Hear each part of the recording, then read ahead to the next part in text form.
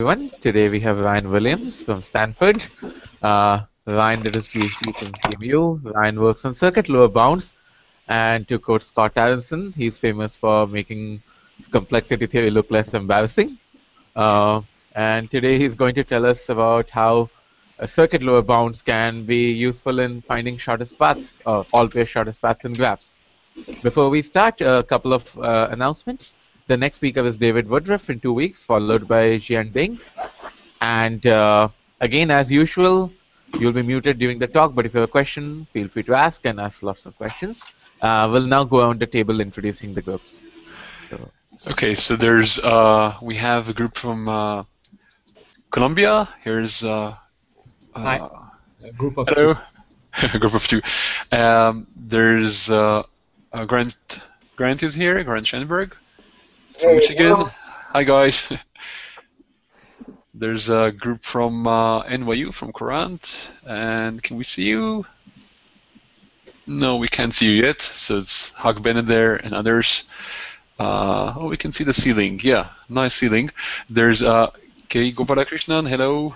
Yeah, for some reason my uh, webcam is not working. so Okay, well we can hear you. So welcome, uh, Madhur. Hi, Madhur. With the uh, group from uh, TTI, and we have uh, Michael, Michael Dinitz from Johns Hopkins, and a few others. Hello, everyone. Uh, Thomas, Thomas Holenstein from uh, ETH. Hi. Hi. Hi. And we have a group from far away. We're all eating pizza there. Hello, Weitzman. um, I hope the time zone change helped you a bit. And um, that's also back to you in India.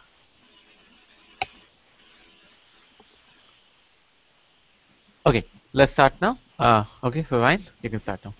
All right. Um, thank you, Ninja, for the introduction. Um, good morning, everyone, from rainy Palo Alto, California. It's it's actually raining here um, pretty strongly, and it's spring break, so it's a nice, quiet theory group right now. Um, shouldn't be any interruptions during the talk. Um, yeah, so I just want to say before I start, I'm really happy to participate in this uh, virtual conference. I've seen some of the recorded talks. And I know I have a high standard to maintain, so thanks uh, to the organizers. Um, now, on to the talk. So, over the past few years, I've managed to convince some uh, budding complexity theorists that they should pay attention in their algorithms classes. Uh, namely, I've shown that SAT algorithms that run even a little bit faster than exhaustive search can be used to prove circuit complexity lower bounds, and this has led to some uh, new work in circuit complexity. Now, if I had to briefly summarize the moral of the present talk, I would say it's about why algorithm students should stay awake in their complexity courses. Um, so what I'm about to describe could have easily been found 20 years ago, and this is not really an exaggeration. Everything I do is at least that old, I think, if not older. Uh, the difference, uh, of course, will be in how I use the old stuff, and I hope to convince you that what I'm doing here is very natural, and it's probably if, if it's not um, the right way, it's morally related to the right way of, of trying to think about making further progress on some tough old problems in algorithms. Okay, um, so on the left here is supposed to be a gigantic graph. that actually is part of um, uh, a graph of internet routers, and on the other on the right side is supposed to be a circuit. All right, so uh, so this talks about all pairs shortest paths, or as I like to call it, OPSUP, APSP, or OPSUP sounds sounds better to me. Um, so we all know what this problem is, right? Uh, so it needs no definition, or well, does it? Because there are different ways to define the problem, and depending on how you define it, uh, you can get different answers. So, so let's be concrete. So we usually think of of OPSUP as the following problem. Uh, we're given an in-node graph. It's a weighted graph, and so we define this graph by um, a weight function from pairs of nodes to positive reals and perhaps even infinities. Uh, but in this talk, I won't I won't really deal with infinities uh, directly. You can just think of infinity as just being a, a real uh, so large that um, you would never take it in the shortest path. Okay? So just think of this as like a, a function from pairs of nodes to the real numbers. So the nodes are just numbered between 1 and n. Um, So we can define a graph just by a, such a weight function, and we want to compute for all pairs of nodes the shortest path from i to j. Okay. But what does this mean, really? Because um, it, it could take uh, cubic space just to write down uh, the shortest path for all pairs. Ryan, is the graph uh, is the graph directed or undirected? Oh, it's it's directed in the sense that right um, right I have a distinguished first and second node here, okay. so it, it, the the function could output something different on ij to j or ji. Right, so it's directed. Um, it turns out that for the purposes of getting faster algorithms for all pairs shortest paths, like subcubic algorithms, um, that distinction doesn't matter. Um, that's in a paper of Virginia and mine, but but yeah, for let's just think of this the most general case of directed graph.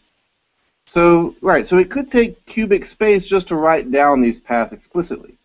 Um, in which case, trying to get a faster than in cubed algorithm uh, wouldn't be possible. So what we instead define it as the following problem. So it's like more proper way to define it. Um, so we're again we're given this graph defined by a weight function, but uh, we want to compute an n by n matrix S that will basically serve as a data structure to help us reconstruct shortest paths. So for all ij, so for all pairs of nodes i and j in this graph, the ij entry of S is going to be some k ranging from 1 to n with the following property that there is a shortest path from i to j that starts with the edge i, k. So, um, so such a S always exists. Okay, this is called a successor matrix. Okay? And it's easy to see we could describe this matrix in n squared log n bits, right? Just by specifying whatever vertex we're going to put in each of the ij entries. Now, given such an S, uh, we can think of it as some data structure and use it to reconstruct shortest paths from any node S and T.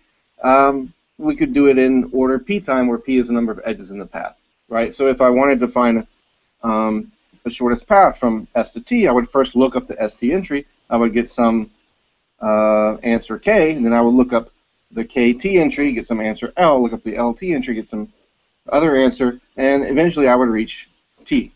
Right? And so from this, I can reconstruct a, a shortest path in the graph. So so this is this is a way I'm going to think about this problem. You could also think about it as all pairs shortest distances, just computing the shortest distance between all pairs of nodes. But this, I mean, is slightly more general in the sense that you actually can reconstruct the paths efficiently. Okay. Um, that guess it's clear. Um, okay. So all right, so that's the that's the problem. And so in principle, we could solve it in something close to in squared time, the the size, something linear in the size of the input. Okay. So now, uh, what's the computational model? Right. So we have to be careful about the model here. Um, it could affect the results. We want something realistic, but not too crazy. I mean, we're working with real numbers, uh, and they could be very large. So we're going to separate the kinds of operations that we do on real numbers from the kind of operations that we can normally do um, with, like, say, bit, bit operations. Okay, so, so the model we're going to look at is the so-called real RAM model. Um, it's a random access machine model, with, but it has two types of distinguished registers. Okay, there's real valued registers, and there's typical registers. Okay, the real valued registers hold real numbers. Okay, each holds a single real number, and the kind of operations you can do is you can add a pair of real valued registers and put the output in another real valued register. You can subtract two, and you can compare the two registers, say one holding A, one holding B. And the outcome of that comparison will go into a typical register.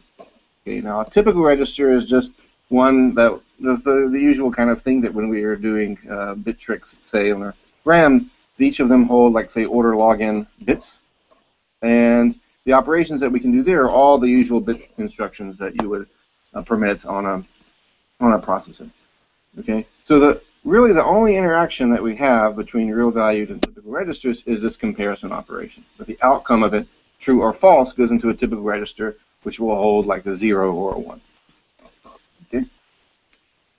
All right, so this sort of limits, um, you know, our ability to like say if we were able to do exponentiation or multiply in some crazy way with reals, we could uh, perhaps solve problems that are not actually solvable in real life. So, So this sort of limits what we can do with the reals just enough so that we can actually speak meaningfully about all pairs shortest paths. So an instance of APSP here is uh, specified using just n squared real valued registers given to us. And so we've designed this model, or specified it here to be as general as possible so that the Floyd-Warshall algorithm and all, all, previous algorithms and so on uh, will take n cubed steps to solve all three shortest path problems. I mean, I didn't define this model. Other people defined it. I think uh, Fredman defined it in the 70s. And, but this is the usual model that we that we consider. All right. So, um, so a major open question in the 1960s was whether the n cubed time algorithm for Floyd-Warshall on n-node graphs was optimal. Um, and a partial answer was given by Kerr in his PhD thesis in 1971, where he showed yes, in fact, it is optimal if you only allow additions and comparisons on real numbers. Okay. So we don't allow these typical registers, we don't allow bit tricks and things like that. But um, but we know additions and comparisons. It's a rather restricted model, right? We know that if, that sorting requires in log n if you only allow comparisons, but you can do faster if you're sorting integers and you allow bit operations. So we could just ask if you know allowing bit operations on the outcomes of comparisons could help us here. And so a better answer was given by Fredman in uh, 75, where he, sh he showed, in fact, no. Uh, n cube time is not optimal on the real RAM.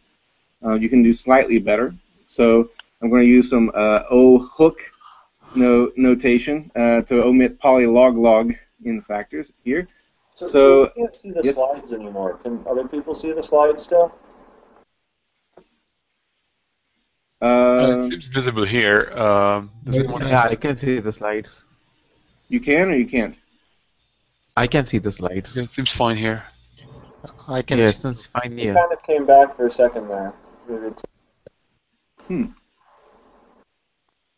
There now. Now I can see them. Okay. All right. So, um, right. So ops up is an n cubed over log to the one third of n time. This is what Fredman showed. Um, so this is again omitting like log, probably log log n uh, factors, and this was done by um, basically taking the outcomes of a bunch of comparisons and and doing a lot of pre-processing, lots of bit tricks, storing lots of lookup tables, and and speeding up um, the search for all shortest paths, like basically by lots of bit tricks and lookup tables and things like that. Okay, and so this spawned a long line of work on all pairs shortest paths, um, which I have condensed uh, on the next slide here. So um, as you can see, the problem wasn't very neglected, um, but but there hasn't been a, a lot of progress here. So we basically uh, we've gotten from log to the one third to log squared, okay, and this is just over more and more sophisticated uh, pre-processing techniques and sort of uh, combinatorial tricks people did. Um, but still, it seems, you know, it, it's not clear uh, what what we should ultimately expect from this kind of line of research. Um, so the major question in this area is whether all pairs shortest paths is in so-called truly subcubic time. So into the 3 minus epsilon time for some fixed epsilon greater than 0. So it's ups up in, into the 2.9 time. Okay? In current research, uh, as you can see, seems pretty far from this. And um, so one might conjecture that such an algorithm is simply impossible. Um, and in fact, this we addressed this question in, in prior work uh, with Virginia, where we said maybe the answer to this question is no. Okay? And what we showed was a kind of uh, completeness result for all pairs shortest paths. So we showed that a large collection of problems either all have truly subcubic time algorithms or none of them do. And so among this list is, is this opt sub, but also minimum weight triangle. So you're given a graph with weights, and you want to find just a triangle in this graph so the sum of the three edge weights is minimized. um, metricity. So you're given um, a matrix, an n-by-n matrix. You want to know if it defines a metric. Um, there's a whole bunch of other ones. So finding a minimum cycle, um, verifying that, a, like a so-called distance product of two matrices, computing a distance product, this problem called the second shortest paths problem, replacement paths, and, and so on. There's uh, more than nine problems that we've found to be equivalent. The idea, though, is that we were building a theory of hardness and completeness for polynomial time. Okay, we can start to reason that perhaps OpSup is hard to solve in truly subcubic time for the same reason that we believe uh, that NP hard problems are indeed hard, because a large number of other problems would simultaneously be solvable in truly subcubic time if one of them could be solved. So, so that we thought of this as evidence that okay, maybe this is not possible. And besides, uh, right, if we if we look back at this at this table, right, it, it seems it's been very difficult to get any progress except for tiny log factors. So a big question to answer before even trying to address the major one, at least if you want a yes answer, would simply be to ask if, uh, if OpSup is an n cubed over log to the c in time for every c, for every constancy. So can we all, so, right, this is, research is often called shaving shaving log or something. So can we get a clean shave of all polylog factors off the complexity of of uh, APSP? Um, so this has been a big question, and and um, it was. Oh, well, I was talking with people about this um, who studied the problem. They they thought that this too was not possible. Um, but uh, in this talk, um, so a recent paper manages to find uh, such an algorithm. And so the main theorem is that there's a randomized algorithm for OpSup running in n cubed over roughly 2 to the square root of log n time. So the way I've written it here is 2 to the L of n time, where L of n is at least uh, omega log n to the 1 half. Okay? So, right, so what we've got here is if we could set, you know, make that 1 half 1, then we would have a truly subcubic algorithm. On the other hand, like what we have is already uh, you know something much better than a polylog factor in the denominator. And so more more precisely, like what this algorithm does, it outputs a correct successor matrix S, as we define the problem with high probability. Okay. So in this much time. Now uh, we can de-randomize this algorithm but uh, it's a fairly technical thing, and because we're actually going through uh, results in circuit complexity, um, I didn't I didn't really find uh, the actual uh, running time, but there is a delta greater than zero and a deterministic algorithm for OpSup running in n cubed over 2 to the log n to the delta time. Okay. Um, so, so we can de-randomize it and get something which is still um, saving over polylog factors. So this ops up as an n cubed over log to the c in time for every c least in one. In fact, we have some, you know, something 2 to the fractional power of log is, is going to be much better than any polylog. Um, and as a corollary, in fact, those uh, truly subcubic uh, reducibilities that we were talking about earlier um, they hold up uh, fairly well under, under even improvements like this. And so all the nine problems mentioned earlier, and in fact more problems that I didn't mention, all have algorithms with similar running times now. So they all have this sort of clean shave of all polylog factors off the problem, where the best algorithm known for any of them was n cubed over uh, log squared. Okay. So, so I think this these results kind of question the the uh, completeness theory that we developed. Uh, Virginia doesn't doesn't agree. She, she thinks that OpSup is probably still not in truly subcubic time. I think the ideas could actually lead to a truly subcubic time algorithm, and um, I'll speak a bit about that at the end. Um, the techniques here are perhaps more interesting than the quantitative improvement. In fact, so we exploit a property of OpSup which makes it uh, simple from the point of view of circuit complexity, and then use tools, old tools from circuit complexity to solve the problem faster. And I'll go into more detail uh, in a moment. So uh, the actual proving theorems one or two would be probably ambitious. So I'm going to try to do something a little, a little more toned down, which was still open problem. So uh, theorem one prime, which I'll uh, cover in this talk, is um, for all k, there's a randomized algorithm for OpSup on graphs that have only integer weights in the interval 0 through into the k. Okay, so here, all the weights on all the edges are bounded by some polynomial in the number of nodes. Okay, so, like, the largest weight is into the k. Ryan, And- if the yes. weights were just 0 or 1, I have a question. If the weights were just 0 or 1, was this Yes. known how to, was the result then known? Yes, yes. So uh, there, there are a couple of algorithms. One of, for example, of Seidel in uh, '95, which shows that yeah, in the un, well, in the undirected, un, unweighted case, you can get n to the omega time. You can get the matrix multiplication exponent. Now, um, in the case of directed and unweighted, you can you can also get truly subcubic. Um, this is a result of of Uri Zwick. Um, so it's something like into the 2.6 like this, and based on again based on matrix multiplication. Yeah. So so what makes it difficult here is the weights. It's definitely um, like otherwise truly subcubic algorithms are known. And in fact, the completeness reductions that we have, the reducing between different problems, they also you know use the use the weights too. Okay. So right. So having just but even having integer weights up to polynomial on n was already open problem, and practically all the new key ideas are illustrated in this in this special case. Um, so even getting this kind of algorithm would uh, is interesting. All right, so so let me give some intuition um, for why this talk is named the way it is, why you get faster alters shortest paths via circuit complexity.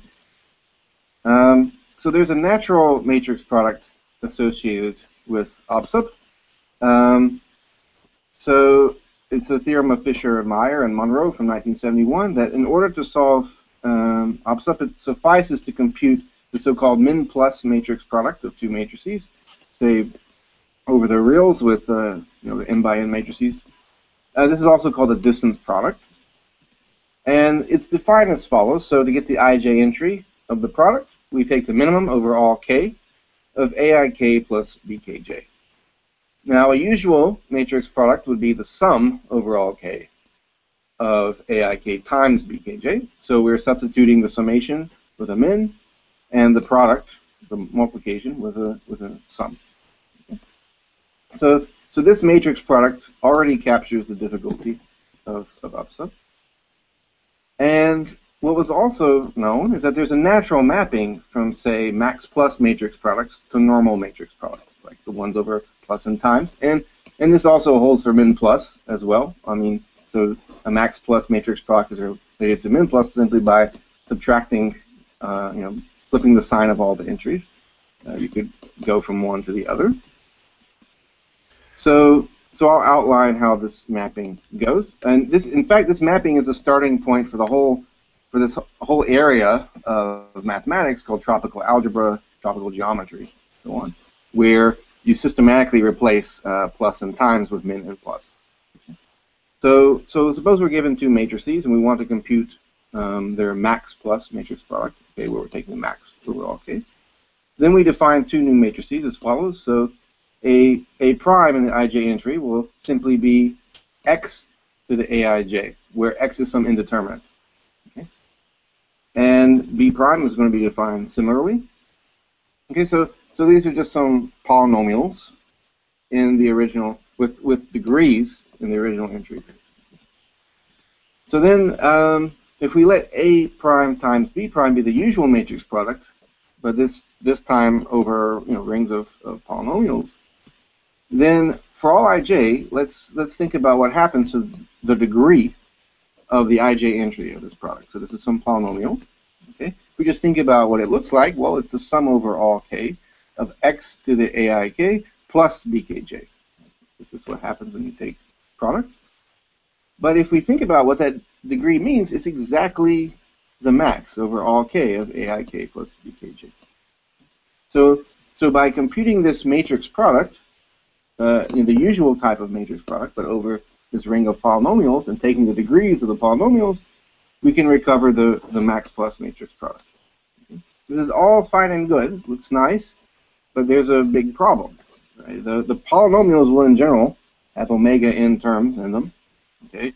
And they will have, like, large degree, quite large degree, like, say, omega m, where m is the largest weight uh, that we have, because we're exponentiating the entries uh, on the original matrices.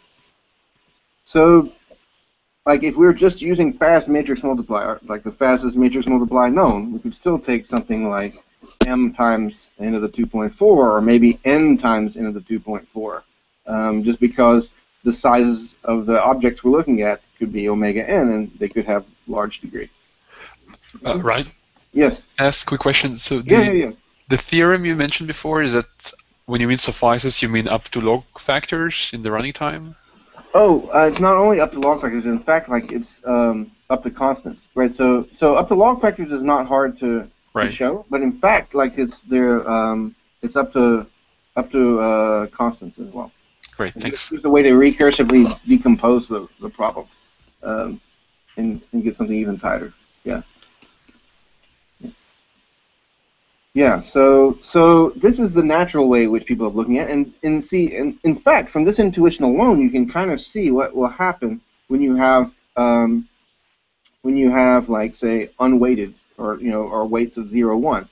This kind of idea, this kind of thinking, will lead you exactly to truly subcubic algorithms in the low weighted or unweighted cases.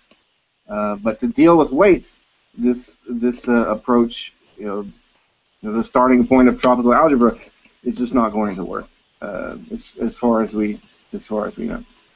All right, so we take a totally different tack, um, and we try to think of how how it is that min plus inner products or min plus matrix products can be easy.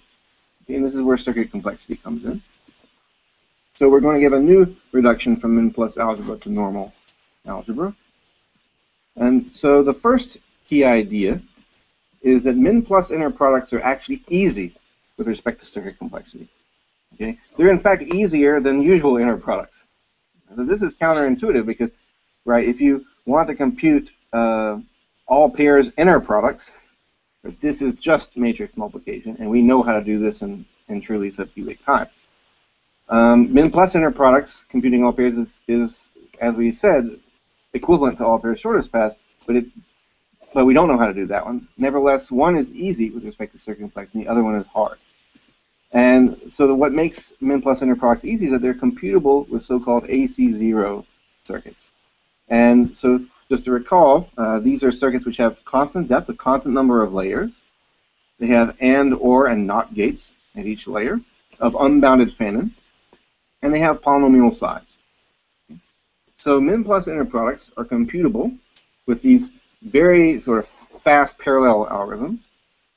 But uh, a usual inner product, which involves, a, say, a, even the multiplication of two numbers, is not uh, computable with AC0. This is this is known. It was proved um, in the early 80s. Multiplication is on AC0. So, but min plus inner products are easy in this respect, and we want to exploit this somehow. So the the second key idea is to use some properties that we know of, of AC0 circuits.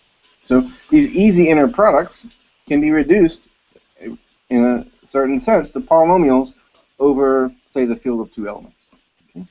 Uh, we'll, we're going to use the result of Razborov and Smolensky from uh, the late 80s, which gave a probabilistic reduction from, say, AC0 circuits. In fact, AC0 circuits even with XOR gates thrown in.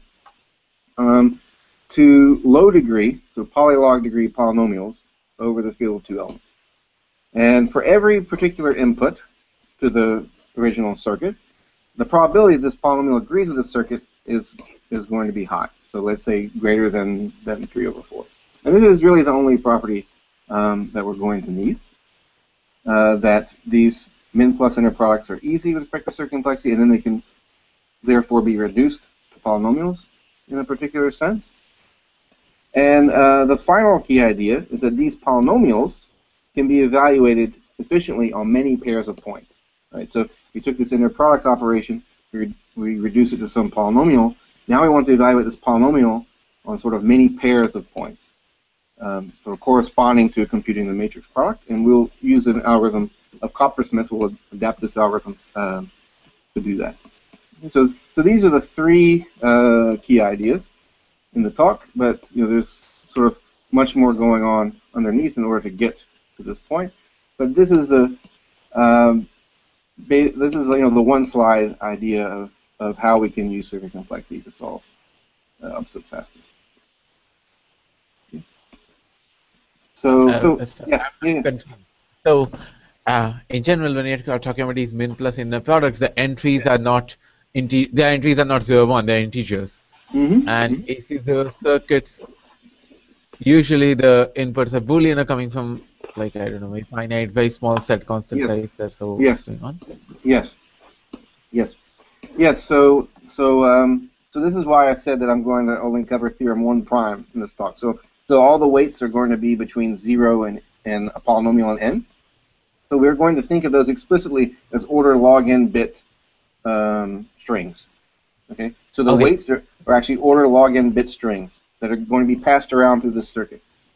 We so in fact this I is in a sense necessary, right? Because we know that if you only allow additions and comparisons, then there are cubic lower bounds.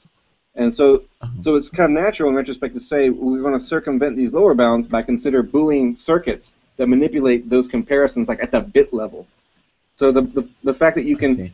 Compare like whether two strings, whether one string is at most another string using an AC0 circuit is very important because then we can manipulate that circuit at the bit level and get you know and, and sort of blow it up. And so we're no longer talking about comparisons as some sort of unit operation. We just we blew it up into a bunch of ands and ors and then a polynomial and so on. Uh, yeah so I think that that that uh, point is extremely important here. Yeah. Yeah. Ryan? Ryan, Can you give Uh, intuition for where the the running time comes from in this outline?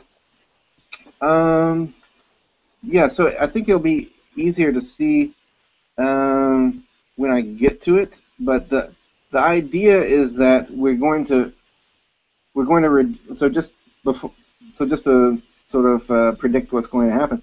So we're going to take an n by n an n by n by n uh, min plus matrix product. We're going to decompose it into a bunch of small uh, matrix products where the middle dimension is really small is going to be so small that one, even if we apply Razborov and Smolensky to that to that middle dimension, um, it won't it won't increase the dimension by very much. Right. The problem with Razborov and Smolensky is that it will take a circuit of size s and blow it up to a polynomial that has like quasi polynomial and s monomials, and so the, so there's some trade-off going on there, and so like the, the square root log n, the 2 to the square root log n denominator is exactly coming from the fact that Razborov and Smolensky from a circuit of size S will give you a polynomial of of size uh, of like of a number of monomials quasi polynomial in S.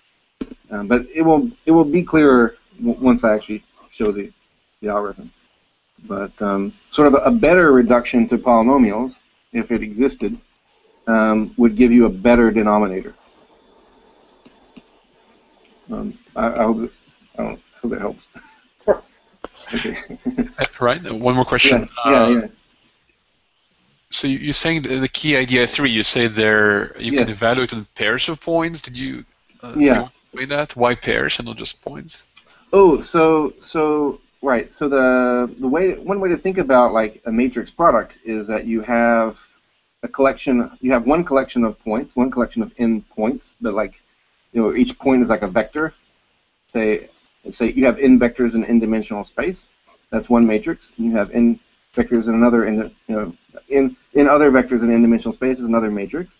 And the matrix product is then just taking all pairs of vectors, one from one collection and one from another collection, and computing some operation on them. Okay. That's so this that's precisely what I mean here is that you have like different pairs of points. You have some distinguished variables, uh, say x variables for the polynomial, and some distinguished y variables, and you're trying all possible x values and y values in evaluating the polynomial on all of them. Um, Okay, thanks. Okay, so so these are the key ideas, and I'll and I'll go into them a in a little bit more detail. Um, but, yeah, just just just enough to give you uh, a good idea of what's going on. So the first key idea is that min plus inner products are easy. Okay. So so just to be clear, so min plus inner product is defined as follows. So we're given say two uh, vectors of length n let's say they have naturals uh, in the entries. So the min plus inner product is just going to be the min over all k of uk plus vk.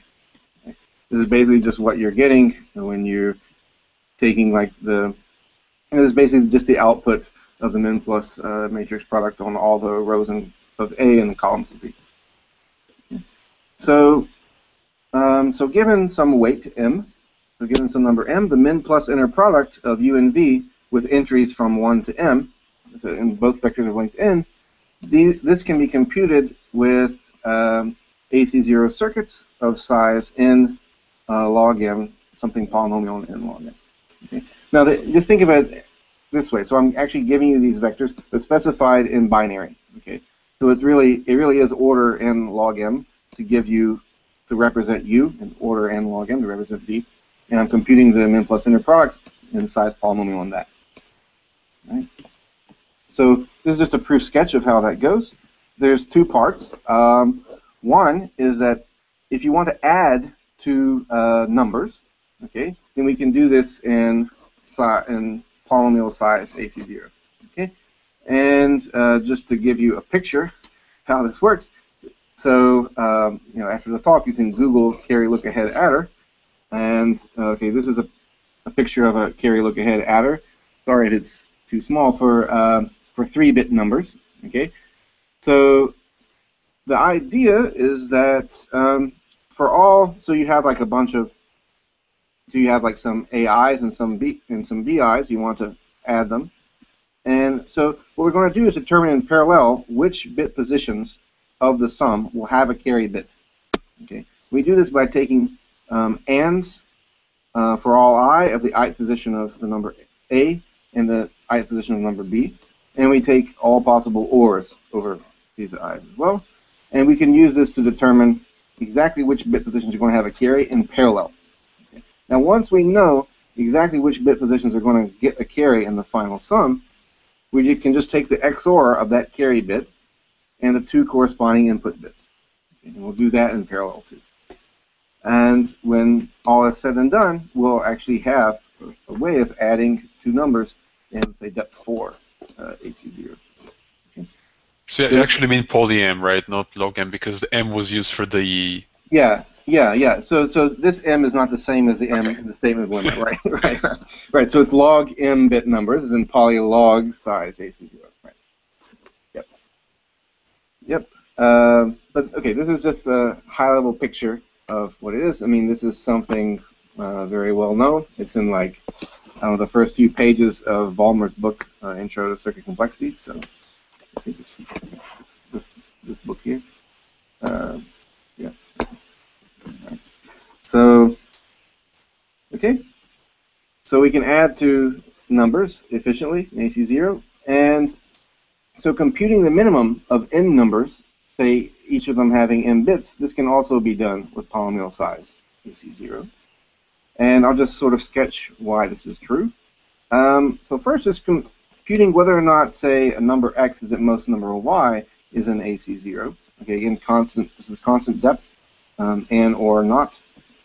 So, I mean, it's not too hard to see how this would go. So you can say x is at most y if and only if, okay, this expression here is true. So, so the way to parse this expression is, okay, so the summation, the summation here is an XOR, okay?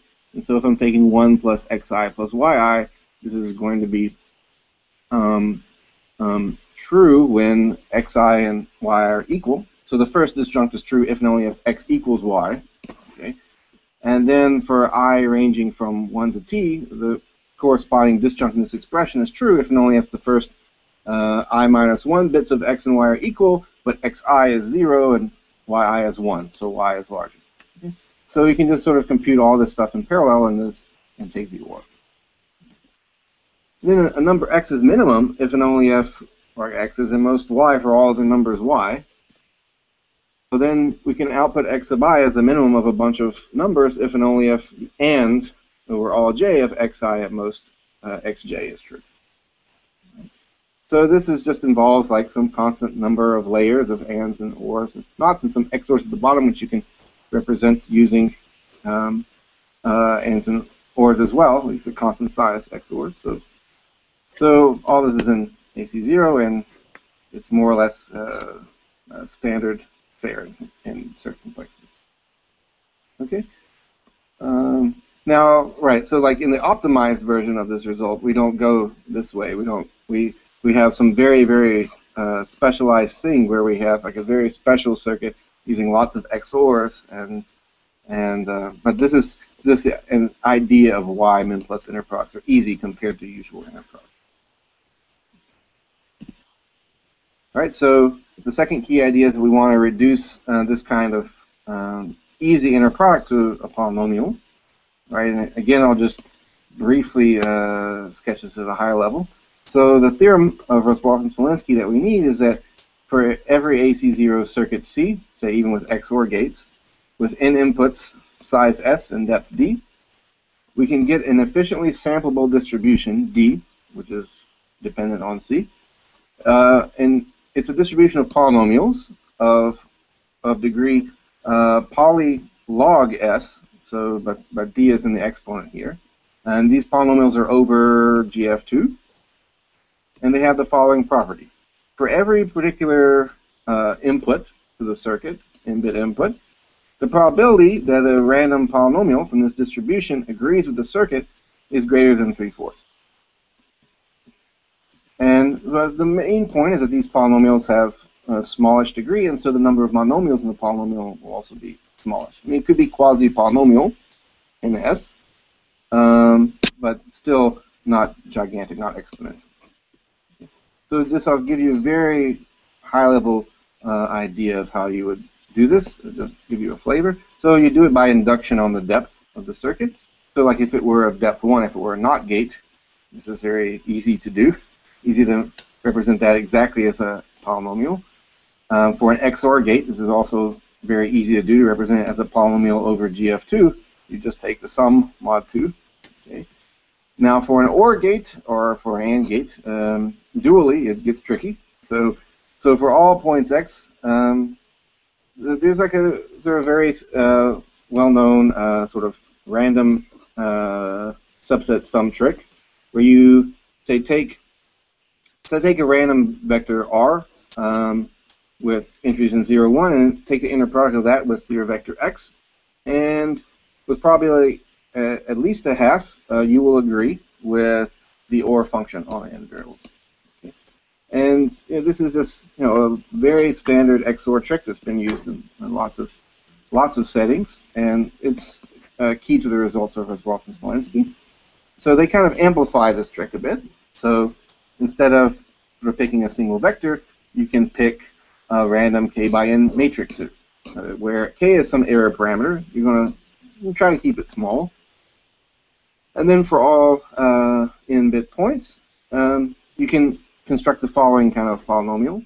Uh, so you can basically take 1 plus the product over all j, ranging from 1 to k, of 1 plus uh, the sum over all i, ranging from 1 to n, of ri ij times xi mod 2. So we're basically taking the XOR trick, the very simple XOR trick, and taking sort of products of this XOR trick to try to um, increase uh, the, the probability of success. So this will be a degree k polynomial, since the product uh, over the j's is from 1 to k. Simulating OR, and it will have error uh, most 1 and 2 to k. And, I mean, I can talk about why, exactly why this polynomial works, but um, maybe it's not so important. The main idea is that you would say, uh, to, to apply this in general to circuits, you would say set x to be something like 10 log s, sorry, set k to be something like 10 log s. So your your error will be like 1 in you know s to the 10 or something like that. And you apply this trick to all the OR gates of the circuit. So without loss of generality, they could be just all OR gates because you can take ANDs and convert them to um, NOTs and ORs. Um, so you apply this trick to all of them, and then expand uh, the resulting arithmetic expression. And when you expand it, you'll get to a sum of monomials, you'll get you'll end up multiplying the degree by a factor of order log s for every layer in the circuit. And so this is why you'll get a polynomial degree uh, log s to the order d. Um, I'm, hand waving a lot here, but this is I mean this is It's just some trick that one can look up in the textbook, several textbooks, and um, so that's that's the main idea. You can reduce them to polymorphs. and stuff. But Yeah. naively, it seems like you're increasing the degree by a factor of k each time, so it's going to be much worse. Oh, so you're going to set. Oh, um, yeah. So, um, okay. In general, you're not going to. Um, so you're going to you're going to multiply it by a factor of order log s, right? So the degree, right? The degree is going to get multiplied every time. Like say if you had a bunch of ors of ands of ors of ands and stuff like that, right? The the degree. So when you set k to be order uh, log s, right, it will be a degree order log Can- s polynomial at, at every Right, at every but point. can the fan-in be much larger? Like, can the fan-in be s or? Um, well, no, I mean not in uh, in general, because basically what you're doing actually is you're reducing the fan in. So you can think of this as saying I have, let's say this is an OR um, of over S inputs. Okay, what I'm really doing is converting this OR to an XOR, okay, the one plus the product of an AND. But this Right. AND is only order log S Yes. of of an XOR. So that so you can think of it totally circuit complexity wise and say, okay, I'm taking this OR of large fan in and I'm reducing it randomly to an XOR of an AND of small fan in of XORs. Um, so right. So then when you expand it, you're only multiplying by a factor of order log s e- each time. Makes sense. Yeah. Thanks. Sure, no problem. Okay. So, all right. So that's so that's Razborov and Smolensky in a in a nutshell. And all right. So let's get to the um, the third idea of polynomial evaluation. Okay. So so a well-known result is that one can evaluate a degree n univariate polynomial at n points of one's choice in order n log n operations. This is like one of these standard things you can do with with FFTs. And so operations here being additions and multiplications. So what we want to do is we want to evaluate a min plus inner product on n squared pairs of vectors. We have you know, n vectors from one matrix A and vectors from another matrix B. Want to evaluate this min plus inner product. So we're going to translate that problem into evaluating a multivariate polynomial in n squared pairs of points. And so we can do this very efficiently provided that polynomial is sparse. Okay. So if it's sparse enough, we can do it really efficiently, much much more efficiently than just say n squared times the sparsity, much more efficiently than that. Okay. So so suppose we're so the formal theorem is suppose we're given uh, two sets of points. Okay, they're these points are uh, n-bit vectors. One set is of size n, the other set's of size n, and we're given a polynomial over distinguished uh, sets of variables. So there are mx variables and my variables, and this polynomial is over f2, say. Um, now there's nothing special, particularly here about f2, except that addition and multiplication in f2 are in constant time.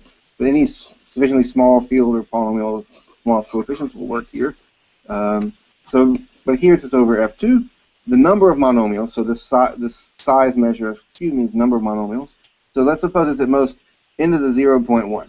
Okay, so we've got n, n points in A, n points in B. Our monomial uh, has n to the 0.1 monomials. Then we can evaluate this polynomial q on all pairs of points x and y. So taking one uh, point from A, one point from B, concatenating them, you can evaluate q on all these in n squared polylog n time. Okay. What's significant here is that if we were to do it naively, then right, it would be n squared times the sparsity of the polynomial, It'd be n to the 2.1. But here we're getting n squared polylog n time. So polylog n amortized time um, over all the pairs of points. And this, this is uh, significant. This is exactly where we're going to get the savings. We're not going to get it, so we're not going to get into the 2.9 here, unfortunately, because our polynomial will get big relative to the circuit we were trying to simulate by Razborov and Smolensky. But, but nevertheless, we're getting some kind of savings here. And the proof idea is to embed this problem into an efficient matrix product. Um, so how much time do I do I have to talk? Actually, Uh, Uh, let me see what the time, what the Yeah, time Yeah, is. Oh, there's could one- at least at least 20 more minutes. Uh, oh, 20. Okay, then fine. I'll, I can easily talk about this then. I just want to make sure that like right, if you wanted to wrap up in like completely in 10 minutes, then then okay. I think it's fair to take five, ten more minutes. Okay. All right. So so I can go over this uh, thing, and it's basically one slide. It's it's pretty in, pretty intuitive when once you see it in the right way. Um, right. So we have this. So we have this polynomial. We're going to evaluate all pairs of points, like you know, points fed to x variables and points fed to, to the y variables. Okay. So I just put the theorem uh, up there.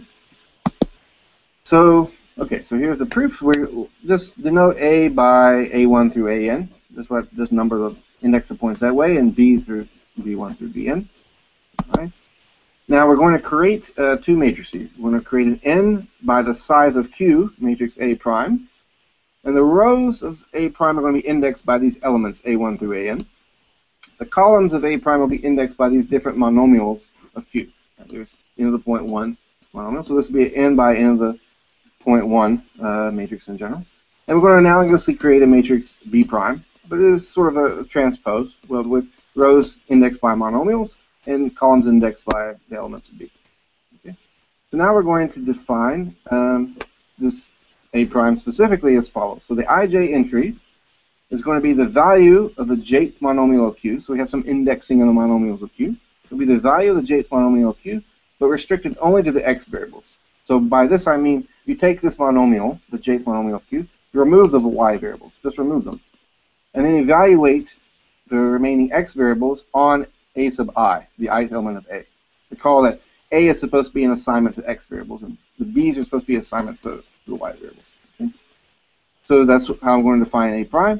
I'm going to define B prime totally analogously. So I'm going to take the jth monomial of Q restricted to the y variables, so throw out the x variables, and evaluate the remaining y variables on B sub k, the kth element of B. All right? Now, let's just look at what happens when I take a matrix product. So if I take A prime ij times b prime jk, this is going to be the value of the jth monomial of q on the assignment ai bk, right? Because one has is just telling me what the value is in the x variables, and one is telling me what the value is in the y variables. Their product is going to be the value on the whole monomial.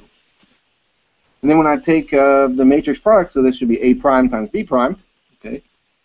If I look at the ik entry, this is going to be sum over all the monomials of q of a prime ij times b prime jk, which is just going to be the value of this uh, polynomial q on AI BK.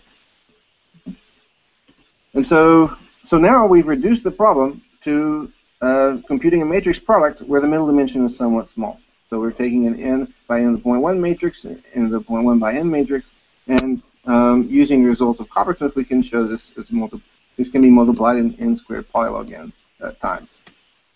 And so, so that's basically it. It's just a taking this uh, polynomial evaluation problem and embedding it into a matrix multiply in the right way. So, so that's that theorem. Now um, I'm ready to, to talk about the, the uh, APSP algorithm. All right. So, okay, was computer was almost crashing. So, so given uh, two matrices A and B, we want to compute this min plus uh, uh matrix product.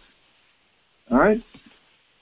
So we're going to let um, d be some parameter, so it'll be something like 2 to the log n of the delta. For some delta, you know, greater than 0, but but less than 1. Okay, so d is supposed to be something small, smaller, asymptotically much smaller than n. All right. So the first step is that we're going to we're going to partition this matrix A into n by d matrices. Okay, there will be n over d, n by d matrices. We're going to partition it like this. So suppose A has this kind of shape. Then we're going to make A1 you know, be um, be really skinny, and A2 be really skinny, and so on. So this will so D is really small. So each of these will be n by d matrices. Right. And then we're going to partition B into d by n matrices, B1 through uh, Bn over d. So we'll be n over d of those. And this is just partitioning in the other direction. So it'll be it'll be really short and, and fat matrices. So D by N, where D is much smaller than N. All right. So the, the key observation, uh, which um, was totally known, I mean, this is like a trick that was used even by Fredman and all the previous algorithms, is that if we want to compute the min plus inner product in the ij entry, it suffices to compute all these uh, min plus inner products of these uh, skinny matrices. So it's a n by d and a d by n.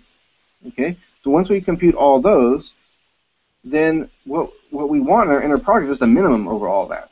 So we just take the minimum over all of these matrix products, we will have exactly the min plus product. Right? So we're, we're just taking um, um, these sort of separate matrix products.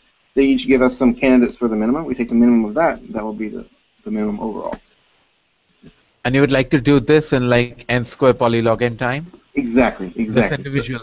Exactly. Yeah. So given these given these products, right, it takes you know n cubed over d time to, to get the final one by just simply computing minima, right? This, that's um, you know, for all for all the ij entries, we compute the minimum over all k. Right. So so now we wish to maximize d, such that n by d and d by n min plus matrix product is computable in n squared polylog n time. Okay. What so so this uh, denominator that we get in the final outcome is exactly a result of maximizing d as much as possible. And this maximization, you know, is constrained by this uh, reduction of min plus inner products to, to polynomials. And, and okay, so we want d to be super polylogarithmic because we can always obviously compute this thing in n squared times d time.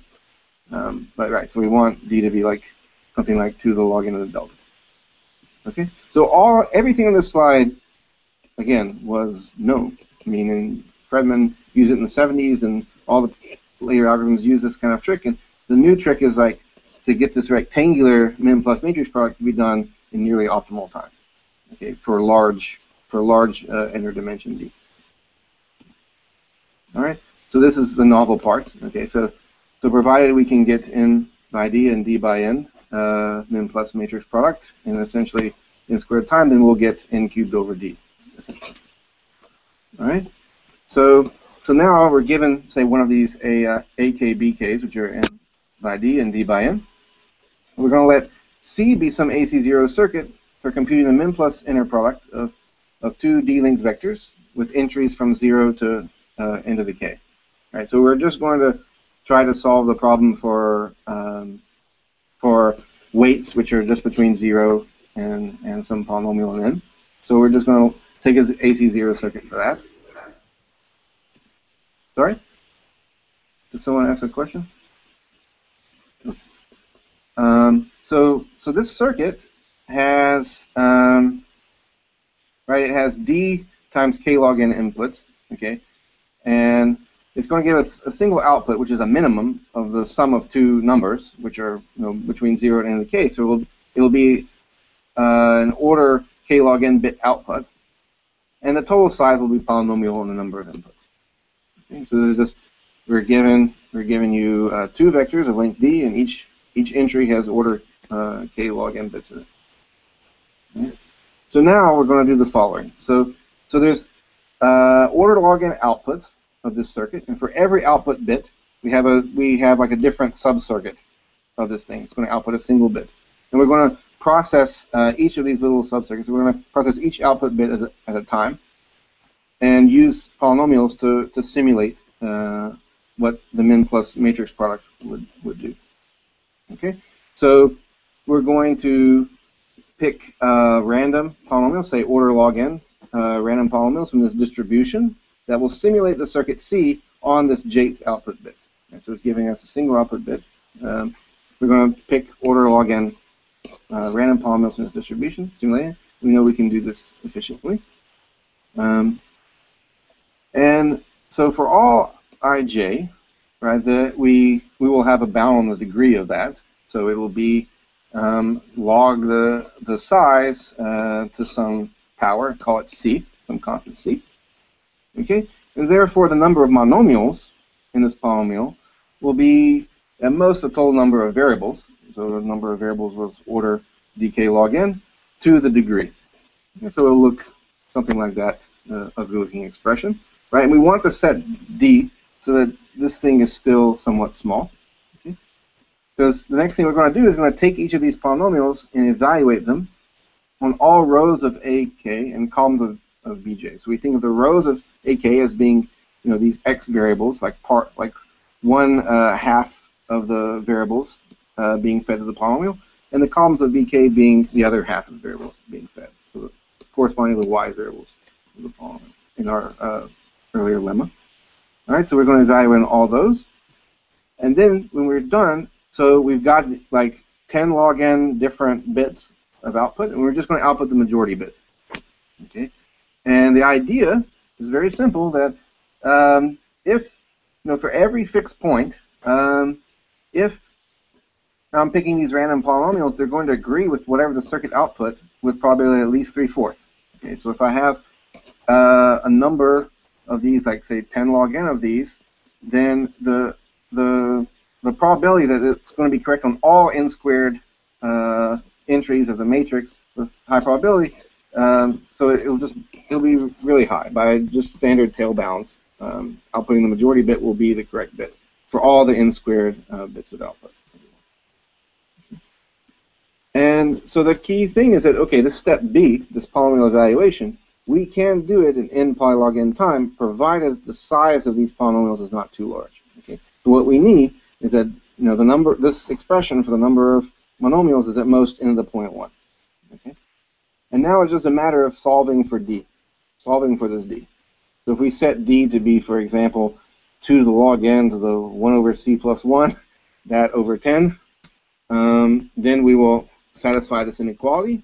And so what we'll do is for all these order log n output bits, j, of the circuit, okay, we're going to run this uh, loop, and this loop will take um, order uh, n squared poly log n time. Okay, so it overall will take order n squared poly log n time. Okay.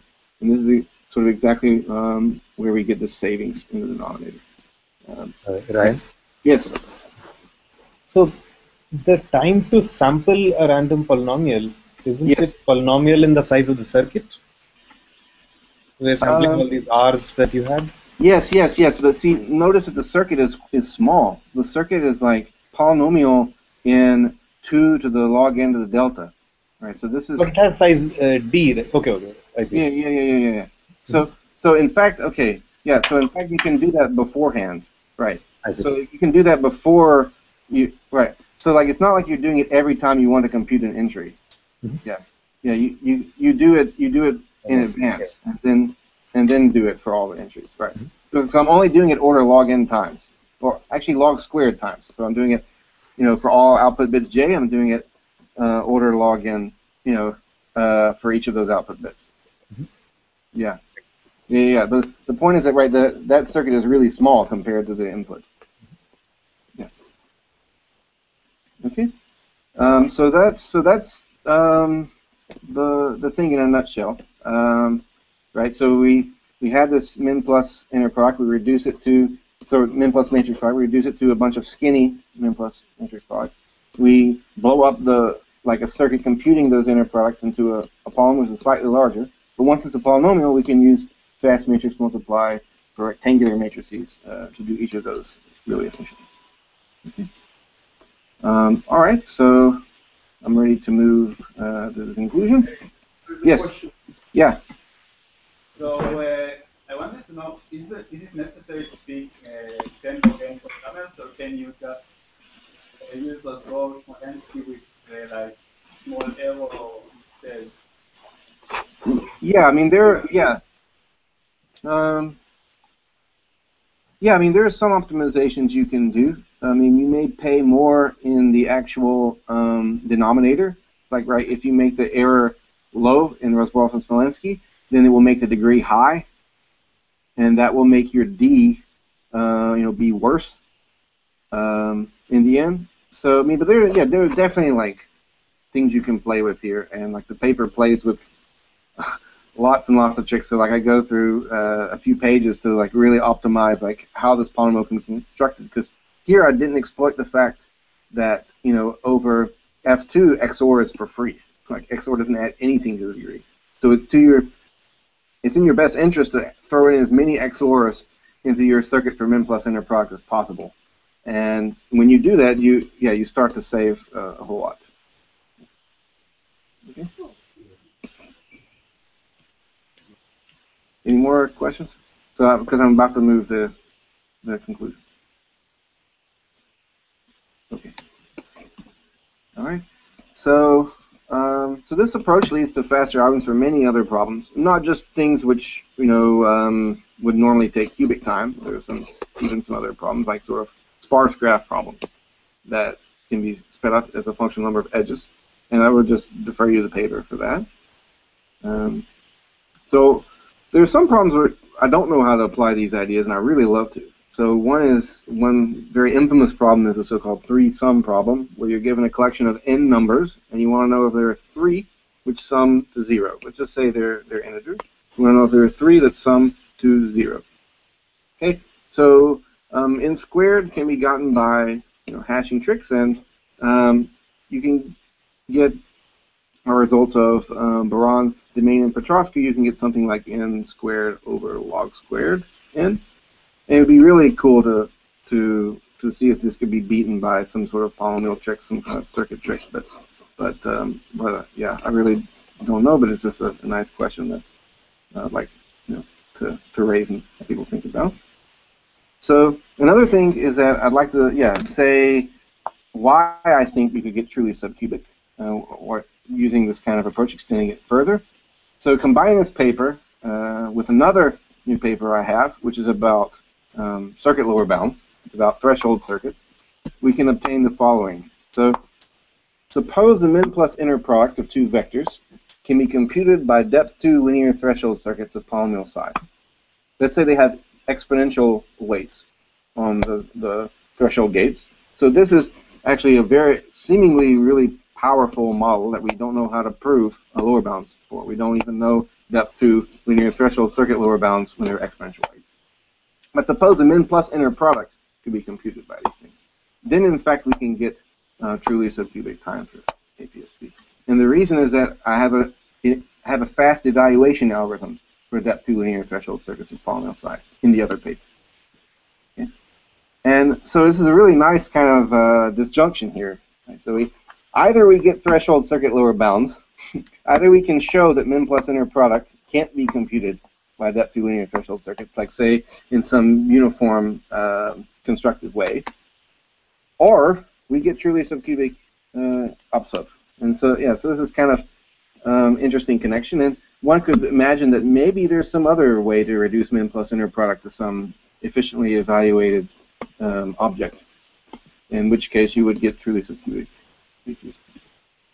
Okay, so so that's something I think is pretty interesting. And finally, uh, circuit complexity has developed many tools for analyzing and manipulating low depth circuits.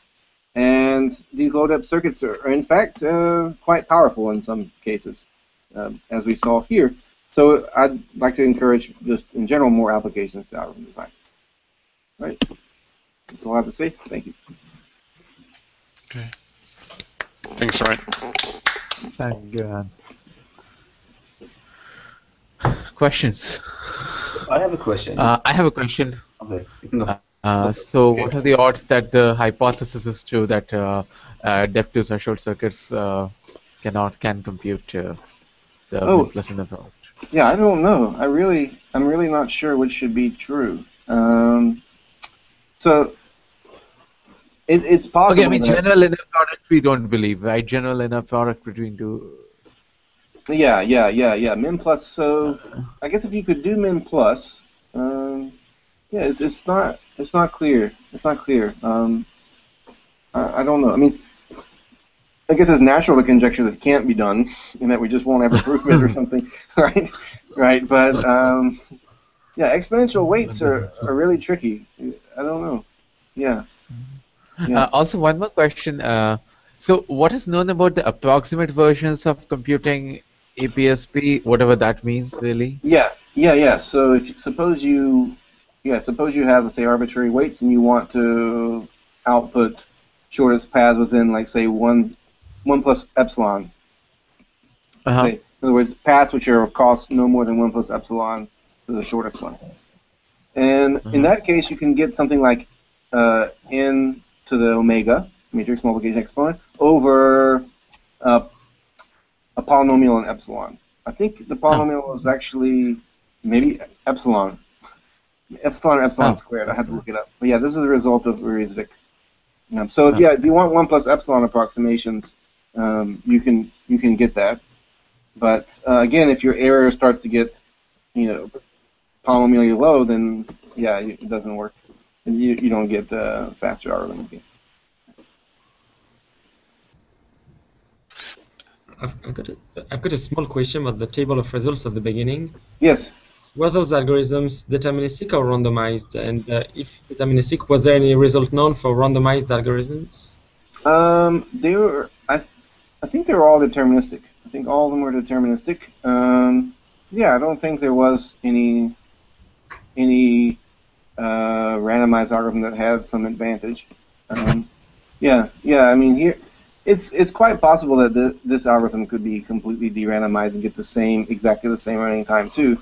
Um, yeah, I, mean, like it's it's possible that like the circuit complexity tools are just so powerful that they there's like just some gigantic hammer that allows you to hit the problem. But if you were to study min plus inner products directly, you would have something much nicer. Yeah. Before we go on, let me just mention that um, we have so we have about 10 people watching us on YouTube, and Okay. if you, in case you want to join, I just posted the link Oh. on the comments, so you're welcome to join. Oh. Uh, just to say hi or to ask questions. Yeah. Yeah. Um, wait. So where where are the comments? Sorry, I didn't. I don't see them. No, no, we will we'll transfer the comments to you, but I'm just saying Oh. those who watched on YouTube, they they're not visible here. They're not part of the Yeah. Hangout. They're watching, Okay. Yeah, live, but they're not visible here. So if they want, they're welcome to join. I just posted the the URL. Oh, okay. Okay. Any more Okay. questions? So I have another question. Yes, I have another question. yeah, so yeah, yeah. suppose you have a, a really efficient matrix multiplication uh, method, say like Yeah, uh, say order of the output length of the matrix. Sure. Yeah. Can you can you improve your algorithm or how much? Hmm. That's a good question. Um, currently, I mean, the, there would be an improvement, but it would only be in the omega, right, of the de- denominator. So, like I said, the denominator is two to the omega log n to the to the one half, right? So the, there would be an improvement, but it only be in that omega, that that leading um, omega term. So it wouldn't be. I mean, it would be better, but right, like um, what you'd like to do is improve um, improve like the square root log n to something like maybe log n to three fours or just log n entirely. Um, so yeah, it, yeah, it would improve it, but but um, only yeah, only by like some omega term in the x, by only some constant term, but in the exponent of the denominator.